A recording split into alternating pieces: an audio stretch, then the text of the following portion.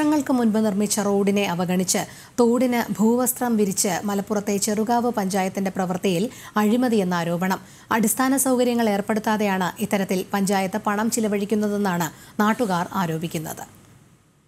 രാമനാട്ടുകരയ്ക്കടുത്ത് ചെറുകാവ് പഞ്ചായത്തിൽ നാലാം വാർഡിലെ പെരിങ്ങാവ് ചങ്ങനാശ്ശേരി മൂല റോഡാണ് തകർന്നു കിടക്കുന്നത്. എന്നാൽ നാട്ടുകാരുടെ ഏക ആശ്രയമായ ഈ റോഡ് പഞ്ചായത്ത് ഇതുവരെ സഞ്ചാരയോഗ്യമാക്കിയിട്ടില്ല. ഒരു കിലോമീറ്ററിന്റെ അടുത്താണ് ഈ റോഡിന്റെ നീളം. എന്നിട്ട് ഇത്ര കാലം ആയിട്ടും ഈ റോഡ് നടക്കാൻ ജന ഒരു ഓട്ടോറിക്ഷയ്ക്ക് പോകാൻ ഒരു രോഗിനെ കൊണ്ടുപോകാൻ ഉള്ള ഒരു ഉള്ളൊരു ഇതില്ല. ഇന്നും ഞങ്ങൾ അങ്ങേറ്റം കഷ്ടപ്പെടുകയാണ് പ്രധാന ആവശ്യമായ ഗതാഗത സൗകര്യം മാറ്റി നിർത്തി തോടിന് ഭൂവസ്ത്രം വിരിക്കുകയാണ് പഞ്ചായത്ത് അധികൃതർ ചെയ്തത്. ഇത്തരത്തിൽ വിരിച്ച ഭൂവസ്ത്രം ഏകദേശം മൂന്ന് മാസം മാത്രമാണ് നിലനിൽക്കുക.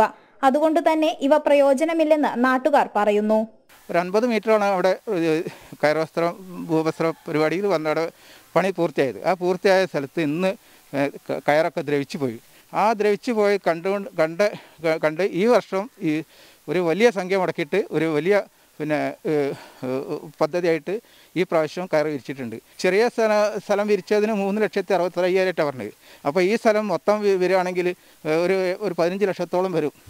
ആ പതിനഞ്ച് ലക്ഷത്തോളം വരുന്ന ഇത് ഒരു ഉപകാരപ്പെടാത്ത രീതിയിലാണ് ഇന്നിപ്പോൾ ചൂടി വിരിച്ചിട്ടുള്ളത്. സഞ്ചാരയോഗ്യമായ ഒരു റോഡാണ് നാട്ടുകാരുടെ ആവശ്യം. അത് എത്രയും പെട്ടെന്ന് അധികൃതർ സാധ്യമാക്കണമെന്നാണ് ഇവർ ആവശ്യപ്പെടുന്നത്. ജനം മലപ്പുറം.